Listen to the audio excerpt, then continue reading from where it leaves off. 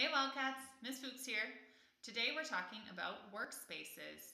Your workspace is whatever spot you have at home that you can settle in and focus on your schoolwork. For some of you, that might be a desk in your own room. Um, for others, it could be a corner of the kitchen table that you put away uh, when it's mealtime. Whatever it is, uh, we're going to talk about some of the essentials and some of the optionals that can make your school time uh, maybe a little more fun and certainly uh, help you focus in on your classes. So this is my workspace. I have this temporary little table uh, set up in a common room at home.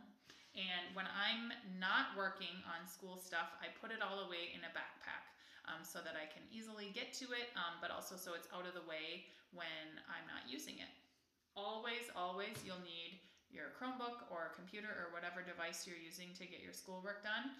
Have it near an outlet so that um, you don't have any battery issues. And I also like to keep handy paper and something to write with. Um, it's a great way to plan out your day, or if you have a brilliant idea, a question for a teacher, and of course, um, students should also use paper to show their work and take a picture for um, some of your classes, math especially.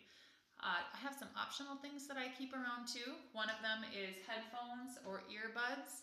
I keep those uh, when my family is being distracting. It helps me just focus in on what I'm doing even more. And then I've got some reminders of what's going on here. LPMS, got some LPMS art and postcard and a Westie. Uh, maybe you have some personal touches such as pictures of friends or your pet, or maybe you have art that you've been making for art class that you can hang up in your workspace too.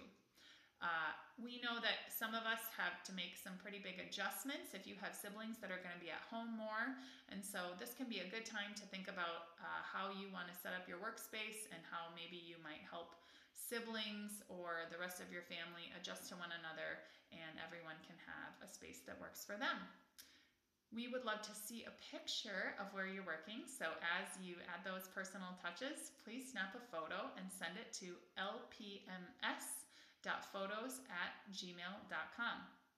Whichever way you're working, we hope you have a great day and remember that we care about you so much.